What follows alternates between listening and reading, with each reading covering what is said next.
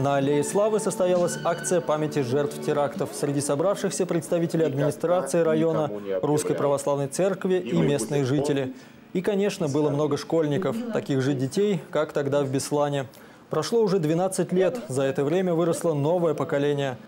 И благодаря таким акциям и рассказам в школах оно должно помнить о тех трагических днях в истории нашей страны.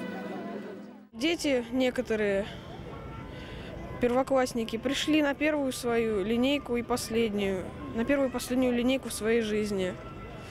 И они, они даже не успели, они только не успели даже родиться и прожить 10 лет, как, их, как уже умерли. Память о погибших была объявлена минута молчания и выпущены в небо белые шары.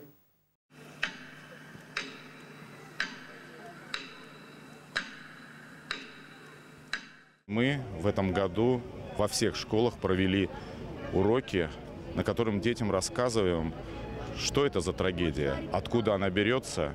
Ведь самое страшное то, что никто не видит этого врага, а он зачастую находится рядом с нами, живет как бы с нами обычной жизнью, но потом происходит трагедия. Завершилась акция совместным фото на память.